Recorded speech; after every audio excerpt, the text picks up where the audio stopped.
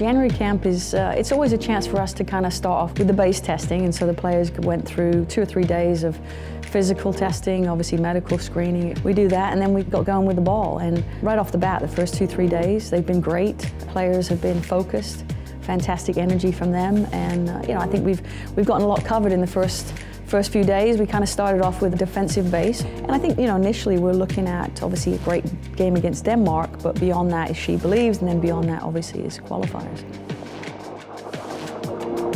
I think 17, it gave me a chance to experiment, to look at different players, different systems, and continue to play hard teams. It's one thing trying to challenge yourself and, and playing teams that you're going to beat 6-0, you don't get a lot of answers. So the latter stages of, of 17, we started to really look at the players that have come through that gauntlet the first eight, nine months and you know look at the system that's best for us, what suits our players, so it suits our strengths. And now it's, it's getting really good at what we do. I feel really good about this group of players. These players all have something very special to bring and we have a great balance of players with a great deal of experience and played in big games. Then we have obviously some players that are gaining experience. And I think that balance is perfect for us.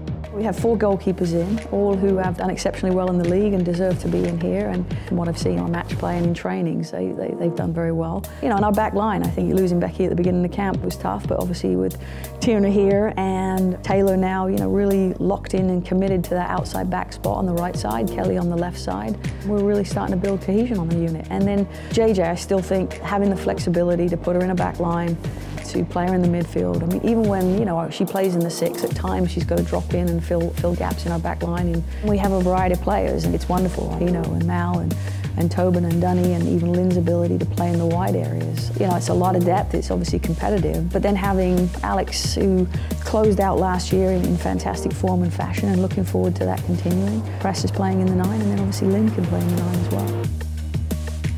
In 2015, we played two in the middle and we didn't have a whole lot of depth there. And now with Lindsey Horan and, and Sammy and obviously Carli, JJ playing in there, Andi Sullivan, it gives us a lot of tools. As you look towards 2019, it's having a core of players that you can call upon. Stuff happens, and so we have to be able to deal with that. And I think our investment now in this core of players that we have in here is, is going to pay dividends for us.